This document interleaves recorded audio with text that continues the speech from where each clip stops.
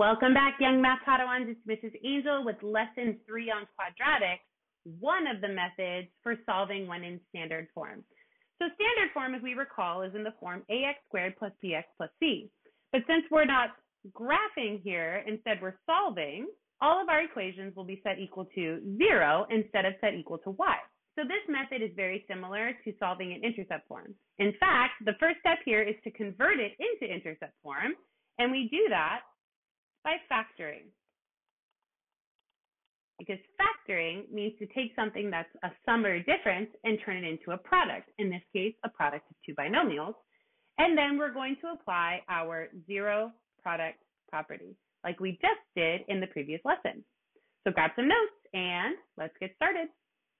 So here we have a quadratic in standard form. And again, rather than being set equal to y, as it would be if you were graphing, it's already set equal to zero. So at this point, it's not as simple as just looking and seeing what values of x have to be to make it a zero. We need to get this into a product of two binomials, get it into intercept form, and from there, we can apply our zero product property. Well, how do we do that? We do that by factoring. So there are a lot of methods that we could use for factoring. In this case with quadratics, never you will never see a quadratic that has more than three terms, so we don't have to worry about the four-term polynomial. However, we may be given quadratics that are binomials or trinomials. So let's take a look at the quadratic from example one. So looking at this expression here, this is a trinomial. So automatically I'm looking at the green box. Hmm. Does this trinomial have a leading coefficient? No, which means the method that we're going to use to factor this is our P's and Q's. So let's go ahead and do that. To factor using P's and Q's, we find two numbers that have a sum of the middle term and a product of the last term.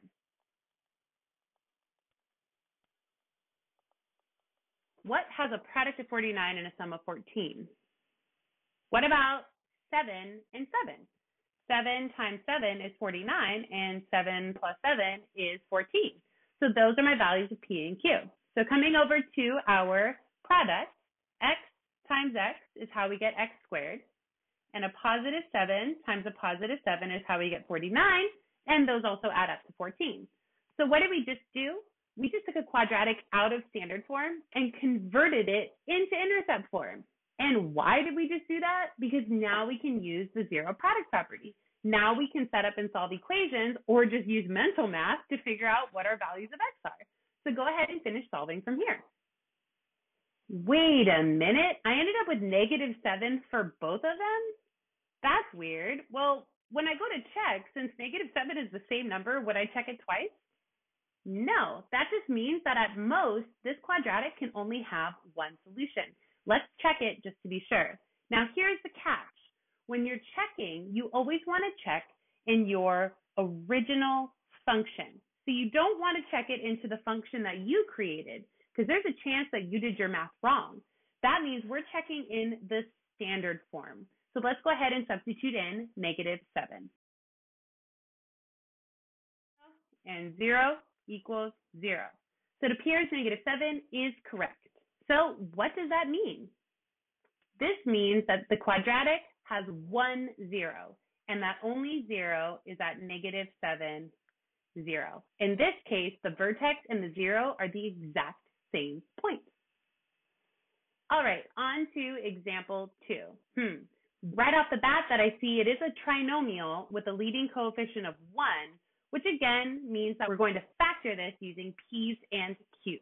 So go ahead and try factoring this into intercept form now. Great work. So hopefully you would have ended up with negative 4 and negative 5, meaning b minus 4 times b minus 5 equals 0.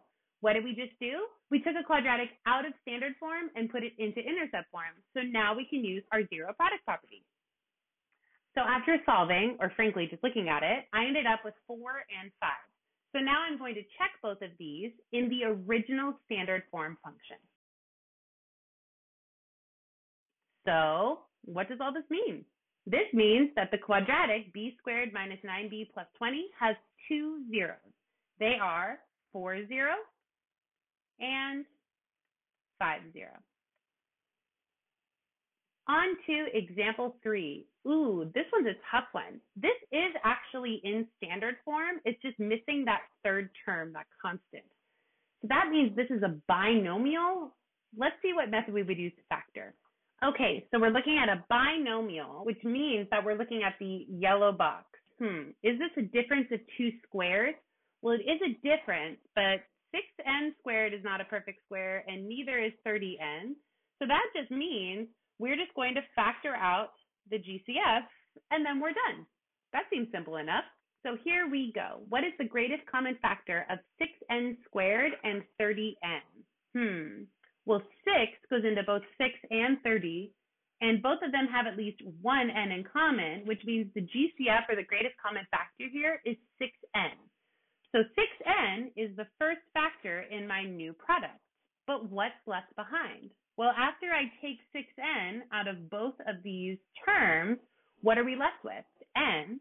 And 30n divided by 6n leaves us with just 5. So now we have taken something from standard form and put it into intercept form. And from here, we can solve using zero product property. So go ahead and try that on your own. So whether you use mental math or solving, I ended up with 0 and 5. So I'm going to check both of these in the original function in standard form. So what does all this mean? This means that the quadratic has two zeros. They are 0, 0 and 5, 0. Final example, and this one's a little tough because we have a trinomial, but this time we have a leading coefficient. So let's take a look at our factoring methods to figure out what we're going to do here. Hmm, trinomial with a leading coefficient. So the first thing we look for actually, before even that, step one is always to look for a GCF before even going into the green box. Do these three terms have a common factor? We have a 2n squared, a 2n, and a 24. They do have a common factor, 2. And if I were to factor out 2, that trinomial without a leading coefficient. Okay, so here we're going to factor out the GCF 2 first, then we're going to factor it using P's and Q's. So if I factored out this GCF 2, that means 2 is now going in the front of my new product. That means I'm essentially dividing each of these terms by 2. So what does that leave me with? Well, that leaves me with n squared plus 1n, or just n, minus 12 equals 0. So now inside of the parentheses, I have a trinomial with a leading coefficient of 1. I can factor this using P's and Q's. Why don't you try to finish factoring now? Okay, so the two numbers that add up to 1 and have a product of negative 12 are negative 3 and positive 4, putting it into intercept form to my right. 2 times n minus 3 times n plus 4 equals 0. Go ahead and find the zeros now. Great. So whether you use mental math or set up and solve equations, I ended up with 3 and negative 4, but there's only one way to find out if I did it right. Checking both solutions in the original standard form function. That means the original one with the leading coefficient of 2. So what does all of this mean? This means that the quadratic here has two zeros, and they are 3, 0 and negative 4, 0. So again, one of the many methods that we can use with standard form is to convert it into intercept form and then use the zero product property to solve. This only works if the quadratic can be factored. So in next lesson, we're going to learn about the other methods for standard form. For now, that's the end of our lesson, and I will see you next time.